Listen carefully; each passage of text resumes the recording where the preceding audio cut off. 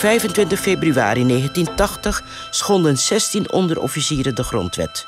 Onder aanvoering van Desi Bouterse wierpen ze met een gewelddadige staatsgreep de democratische rechtsorde omver.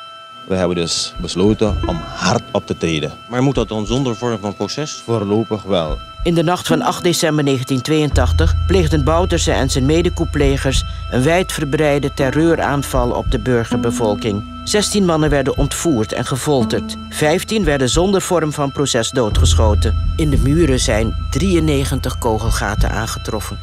Als je niet schiet, dan knal ik jou neer. Voor mij is er een leven voor en een leven na 8 december. Op die dag verloor ik mijn onschuld. En toen kwam Bouterse en die zei tegen Horp, haal ze.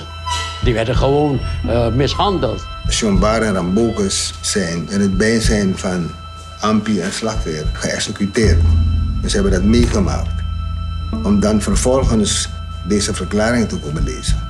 En kort hierna zijn zij ook doodgeschoten. En de moordenaar is hier met mijn vader in beeld. Over mijn man die meegenomen was, zei hij: Misschien is hij met de anderen nu al in de hemel of in de hel.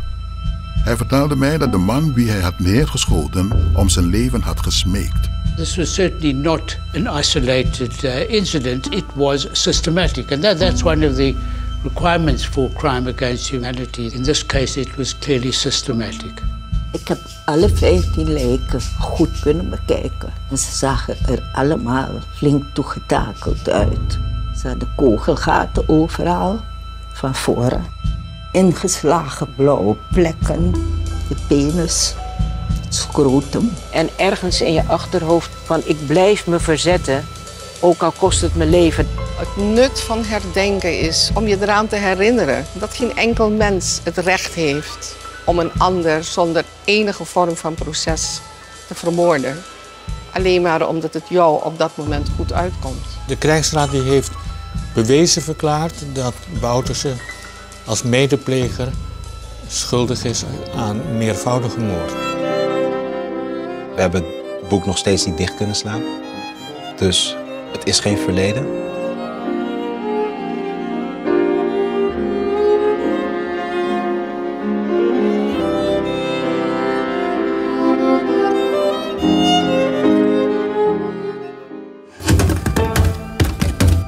欲望。